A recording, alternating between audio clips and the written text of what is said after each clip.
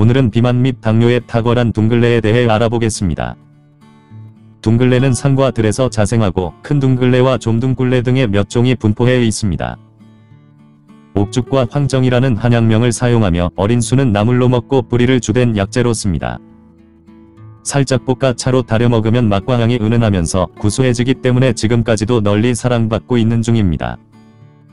둥글레 성미는 달고 차거나 평한 성질로 무독하며 폐와 비대장 및 췌장을 이롭게 합니다. 먼저 양리실험에서 심장관상 동맥 혈류량 증가와 심장박동을 증진시키고 동맥 경화로 인한 반개 형성을 풀어주는 효과가 인정되었습니다. 그리고 항노화 작용에서 둥글레 다리넥은 평균 생존율을 8에서 9% 연장시키고 피부노화 및 주름살을 억제하였습니다. 또한 달인 액 3g을 1개월 동안 연속해서 복용시키면 심근과 뇌조직 내의 유산소 활성을 현저히 증가시켜 퇴행성 뇌질환에도 유효성이 입증되었습니다. 한국약용작물학회에서는 혈압 상승을 주도하는 효소인 안지오텐신 전환효소 저해 활성에서 둥글레 추출물이 35.2% 억제 활성을 보여 고혈압에도 매우 유용한 약재임을 시사하였습니다.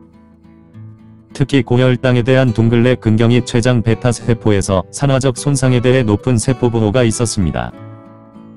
참고로 고혈당은 제1형과 제2형 당뇨에서 산화 스트레스가 주원인이 되고 췌장 세포사와 베타 세포의 기능 손실과 관련이 있습니다.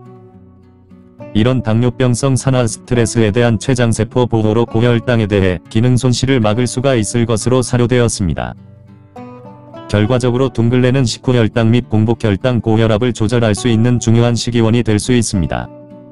다음 대한 본초학회지에서 실린 특허 논문 자료에는 지방세포에서 에너지 소모를 유도하여 항비만 특성에 크게 기여한다는 내용이 있었습니다. 둥글레 추출물의 총 페놀과 플라보노이드 함량으로 항산화 활성 및 지방세포의 세포 내 지방 생성을 조사하였습니다. 실험 결과 둥글레 추출물이 높은 항산화 활성을 가진 것으로 나타났고 지방세포의 분화와 지질 강화 및 지방 생성을 모두 억제하였습니다. 또한 지방세포율의 유전자의 주요 인자인 단백질 발현은 대조군에 비해 유의하게 감소하였습니다. 결론적으로 둥글레 추출물은 항산화 활성 효과를 증가하고 지방세포 분할로 항비만 및 체중 감소에 도움을 줄 수 있음을 시사하였습니다. 또한 체지방 분해와 인지질 지단백질 지질대사 개선 등에 매우 효과적으로 나타남에 따라 다이어트 한방차로 중요한 역할을 할 것으로 사료되기도 했습니다. 그래서 현재 다이어트 천연약초로 많은 각광을 받고 있는 중이며 최근 둥글레를 차로만 다려먹고 지방살을 제거해 큰 호응을 얻기도 했습니다. 나이가 들면 갱년기로 인해 지방이 자꾸 축적이 되는데 체내각까지 유해 독소를 빨아들여 깨끗이 풀 수가 있습니다. 이런 경우에는 둥글레와 금전초 각 20g을 물에 진하게 달여서 마시면 좋고 둥글레만을 단방으로 꾸준히 드셔도 좋습니다. 또는 잘게 가루를 내어 하루 두세 스푼씩 물에 타서 먹으면 좀 더 간편하게 꾸준히 먹을 수가 있습니다.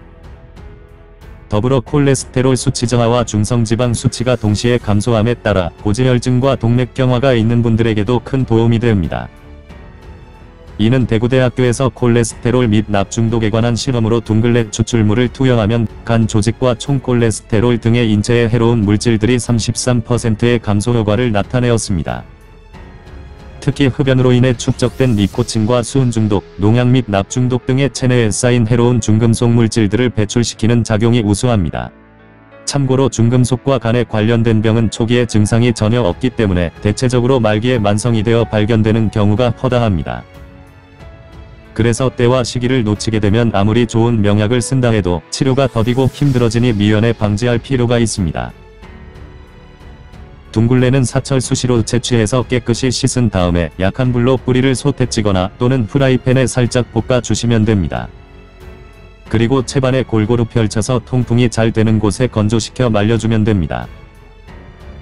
백내장과 당뇨망막증에는 환기와 구기자, 복분자 각 5g씩 배합해 사용하면 눈 실명을 막을 수가 있습니다.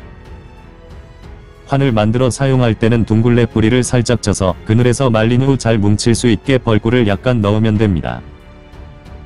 그리고 하루 10에서 20알 정도 매일 또는 2, 3일 간격으로 꾸준히 복용하면 되고 가루를 내어 물에 풀어 마셔도 됩니다. 둥글레는 지금까지 특별한 부작용은 없었지만 당뇨약에 만성이 된 환자들은 간혹 위가 쓰리거나 설사를 할 수가 있으니 동시에 복용은 삼가하셔야 합니다. 시청해주셔서 감사합니다.